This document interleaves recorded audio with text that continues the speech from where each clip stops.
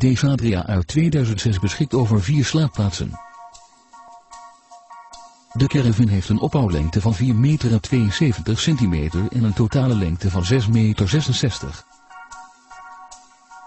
Het ledengewicht is 980 kilo en het maximaal toelaatbare gewicht 1300 kilo.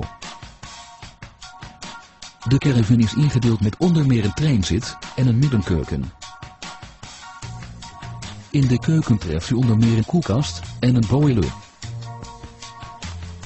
De Adria wordt verwarmd door middel van een kachel en ringverwarming.